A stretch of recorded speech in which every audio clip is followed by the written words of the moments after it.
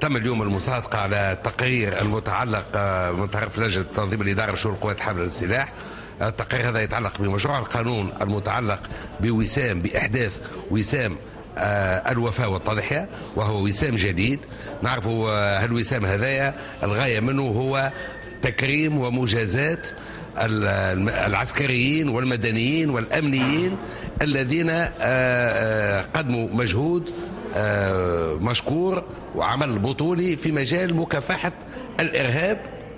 أو أي عمل بطولي يعني في في هذا السياق. يعني هو متجه أكثر بصفة خاصة نحو مكافحة الإرهاب. والقانون هذا مشروع القانون هذا يعطي إلزامية إسناد هذا الوسام لمن قدم مجهود سواء كان مدني أو عسكري في مجال مكافحة الإرهاب آه، في مجال مكافحة الإرهاب. ويمكن ويجيز هذا القانون إسناد هذا الوسام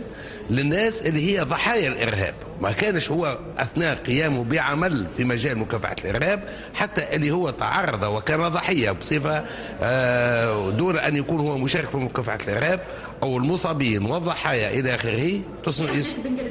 فقط ولا في الأحداث الإرهابية الكل؟ في الأحداث الإرهابية الكل وهي مناسبة آه، حرصت اللجنة وحرصت الحكومة باش يكون جاهز قبل ذكر أحداث بن قردان باش تقع مجازات ومكافاه